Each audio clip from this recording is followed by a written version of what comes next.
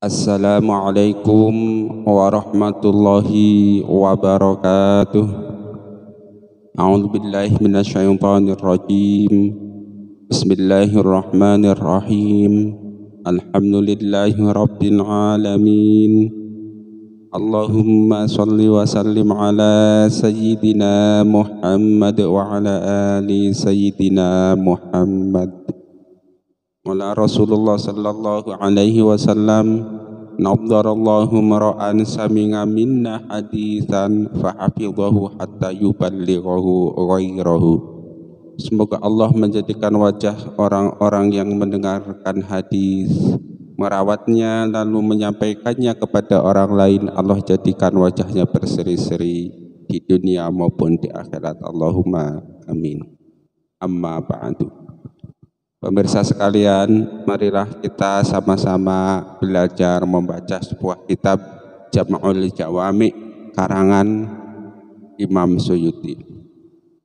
Hadis nomor 410. Qala Rasulullah sallallahu alaihi wasallam ittaqullaha wa aslihu dzata bainikum fa innallaha ta'ala yuslihu bainal mu'minina yaumal qiyamah Artinya bertakwalah kalian kepada Allah Subhanahu wa taala dan perbaikilah hubungan di antara kalian karena sesungguhnya Allah Subhanahu wa taala akan mendamaikan di antara orang-orang beriman kelak di hari kiamat. Hadis riwayat Abu Ya'la dan Hakim dari Anas status hadis ini sahih. Ada yang mengatakan dhaif. Penjelasannya Sesungguhnya Allah Subhanahu wa taala mencintai perdamaian oleh karena itu berdamailah kalian pada hari kiamat. Oleh karena itu berdamailah kalian. Pada hari kiamat Allah Subhanahu wa taala akan mendamaikan orang-orang beriman yang berselisih dengan cara memberi balasan yang lebih baik. Begini kira-kira ya. Ini hadis ini itu redaksinya sesuai dengan surat Al-Anfal potongan surat Al-Anfal surat Al-Anfal ayat 1 potongan ayatnya kayak kira begini mirip. Nah kalau dalam surat Al-Anfal itu salah satu asbabun nuzulnya itu kan wayas alunaka anil anfal jadi setelah perang badar singkat ceritanya itu kaum muslimin mendapatkan kemenangan setiap orang sesuai petunjuk Rasulullah Shallallahu Alaihi Wasallam mendapat ghanimah, mendapat anfal, mendapat harta rampasan perang dengan bagiannya masing-masing. Tetapi ada beberapa sahabat yang berbeda pendapat, yang berselisih, berbeda pendapat. Nah, kemudian karena perbedaan tersebut, kemudian Rasulullah Shallallahu Alaihi Wasallam mengatakan ittaqullaha wa aslihu dzata bainikum fa innallaha ta'ala yuslihu bainal mu'minina yaumal qiyamah. Ini dengan bahasa sederhana wis usah usah podo maaf maaf ya wis sudah podo usah podo lahi jangan pada bertengkar gara-gara anfal dah semuanya diurusi sesuai perintah Rasulullah sallallahu alaihi wasallam. Ittaqullaha wa aslihu dzata bainikum perbaikilah munah karena hubungan yang dalam tanda petik kurang baik karena hal tersebut maka diperintahkan para sahabat itu untuk memperbaiki hubungan-hubungan tersebut. Fa inna Allah ta'ala yuslihu dzata yuslihu bainal mu'minin yaumal qiyamah nah karena apa kelak pada hari kiamat Allah Subhanahu wa taala itu dalam suatu hadis diceritakan bahwa ada dua orang beriman yang satunya itu mengadu kepada Allah Subhanahu wa taala bahwa ada saudaranya yang dulu waktu di dunia itu berbuat zalim. Maka sekarang yang dizalim tersebut menuntut kepada Allah Subhanahu wa taala. Selanjutnya berkata, "Ya Allah, ini si fulan dulu waktu di dunia berbuat zalim kepada saya. Oleh karena itu maka ambillah kebaikannya untuk saya sebagai pengganti kezalimannya tersebut. Tetapi apa jawab apa jawab si orang yang berbuat zalim waktu dunia itu? Ya Allah saya sudah tidak punya kebaikan lagi. Lalu bagaimana? Nah, kemudian Allah Subhanahu wa taala bertanya kepada orang yang menuntut itu yang di waktu dunia dizalimi, "Ya Allah, kalau begitu ambil saja keburukan saya yang harus saya tanggung kemudian ditimpakan atau diberikan kepada saudara saya yang dulu berbuat zalim waktu di dunia." Nah, kemudian Kemudian siapa orang yang ber, Allah bertanya kepada yang berbuat dolim. Tapi ini saudaramu itu sudah tidak memiliki kebaikan lagi. Lalu apa yang akan kamu perbuat dengan saudaramu tersebut? Nah, kemudian dalam hadis diceritakan Rasulullah Shallallahu Alaihi Wasallam merebesmidi keluar air matanya dan menangis karena cerita tersebut. Nah, kemudian Allah Subhanahu Wa Taala berfirman kepada orang yang menuntut tadi, coba kamu angkat pandanganmu ke atas, lihatlah surga. Masih laki-laki yang menuntut tersebut pun menengok ke atas dan melihat surga.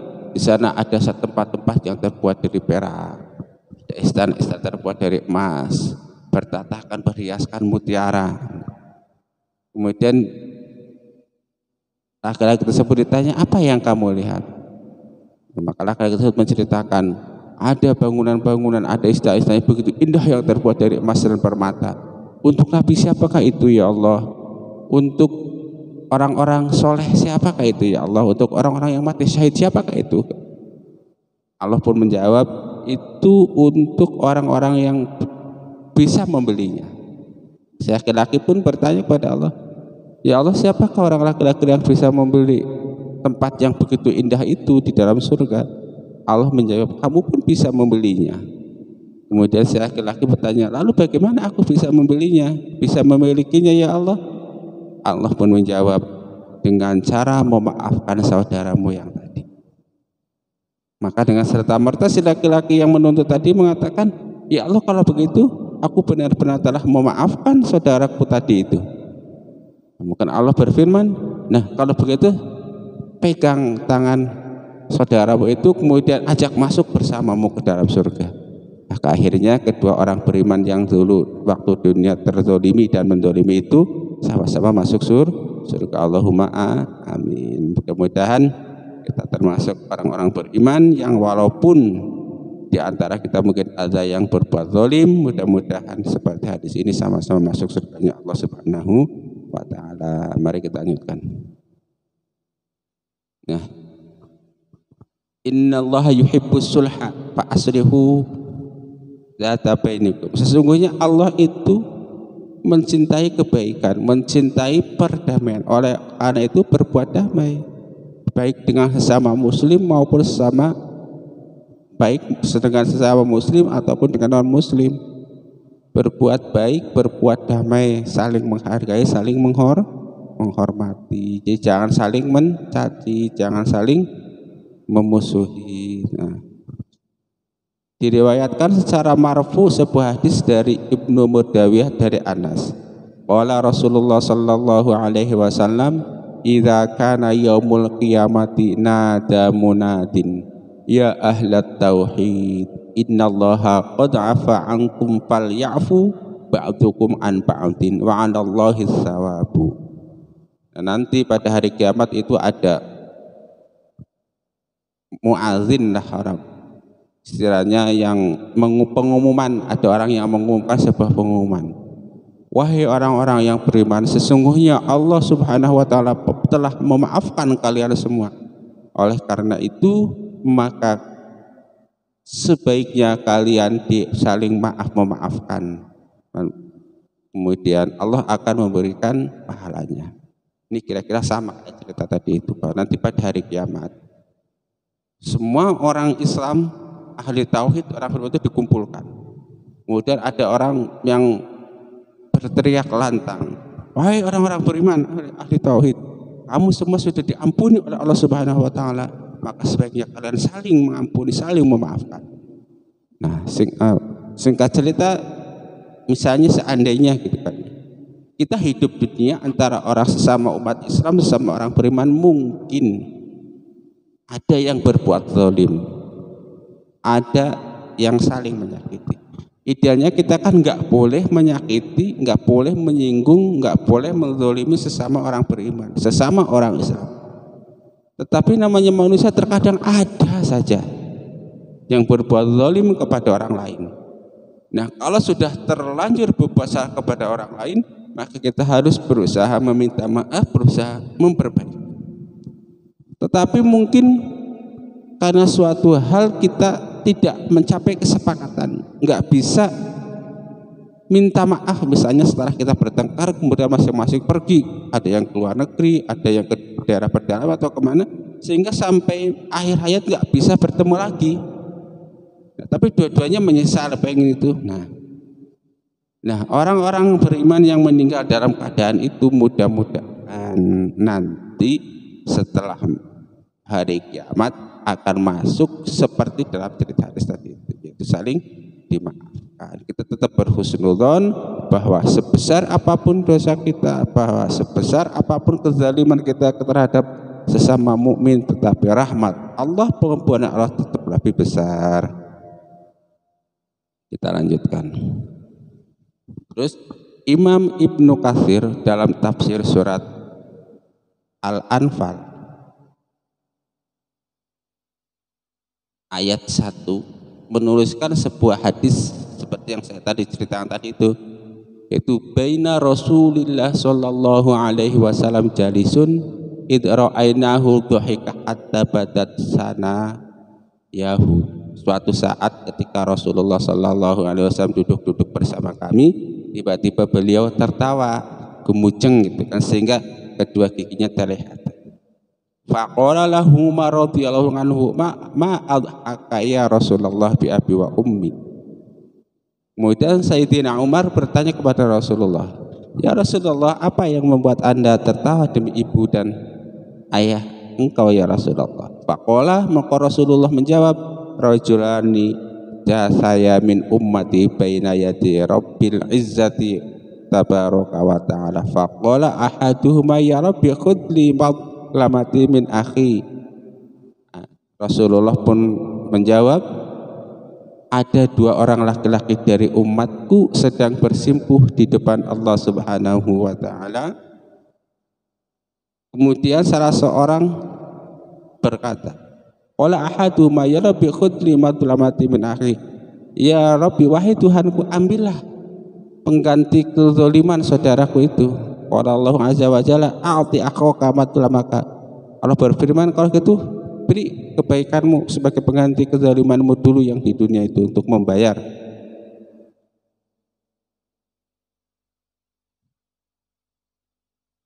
Qala ya Rabbi lam yabqali hasanatin lam yabqali min hasanatin syai'un.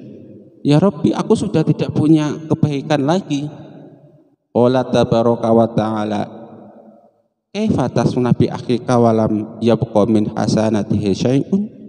Qala rabbi faj fal yahmil anni min auzari qala wa aina rasulullah sallallahu alaihi wasallam bil bukai thumma qala inna dzalikal yaumun azimun yaumun yahtajun nasu fihi ila ayyuhmal anhum auzaruhum faqala Allah ta'ala lit talibi irfa' basarok fangdur fil jinan.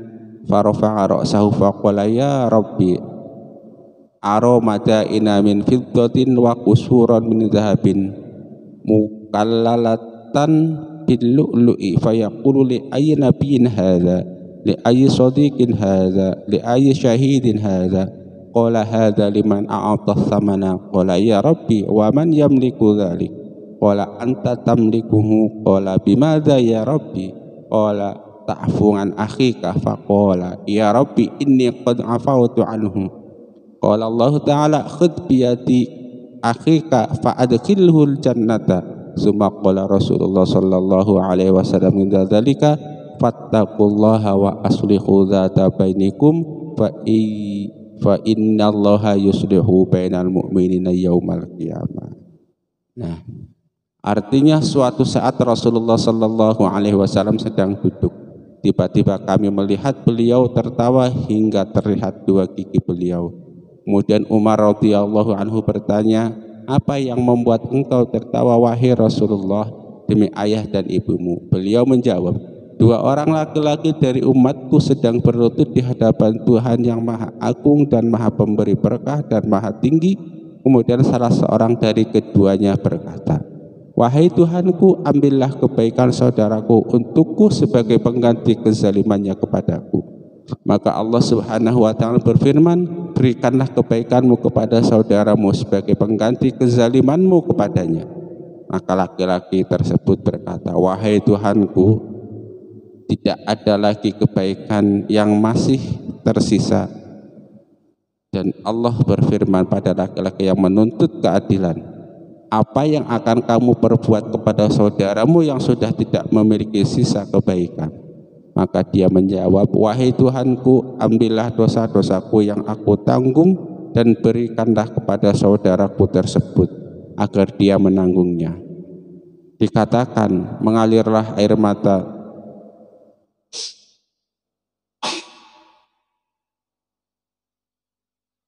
dikatakan mengalirlah air mata dari kedua mata Rasulullah Sallallahu Alaihi Wasallam karena menangis. Kemudian beliau bersabda, sesungguhnya hari itu adalah hari yang besar, hari di mana manusia harus menanggung dosa-dosa mereka.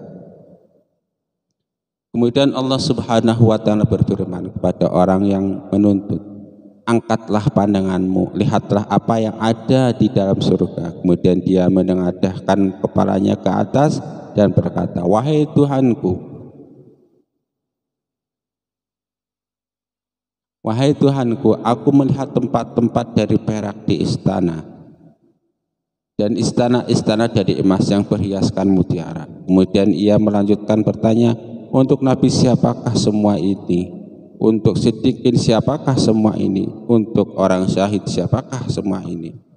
Allah berfirman, untuk orang-orang yang bisa membelinya. Dia bertanya lagi, wahai Tuhanku, siapakah yang bisa memilikinya? Allah berfirman, kamu bisa memilikinya. Dia bertanya lagi, dengan apa aku bisa memilikinya? Wahai Tuhanku, Allah berfirman, dengan cara memaafkan saudaramu. Dia berkata, wahai Tuhanku, aku benar-benar telah memaafkannya. Allah subhanahu wa ta'ala berfirman, peganglah tangan saudaramu, masukkanlah ia ke dalam surga bersamamu. Setelah itu kemudian Rasulullah sallallahu alaihi wasallam bersabda, "Fattaqullaha wa aslihu dzata bainikum fa innallaha yuslihu bainal mu'minina yaumal qiyamah."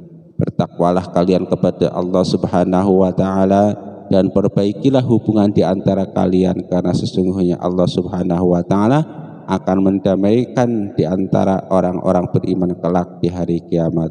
Hadis riwayat Anas bin Malik. Nah, hadis ini merupakan sebuah kabar gembira yang membuat kita harus tetap berhusnudzon kepada Allah Subhanahu wa taala bahwa sebesar apa pun kesalahan kita baik kepada Allah maupun kepada sesama umat Islam insya Allah Allah subhanahu wa ta'ala akan tetap mengampuni dosa-dosa kita asalkan kita tetap sebagai orang beriman. Allahumma amin. Wassalamualaikum warahmatullahi wabarakatuh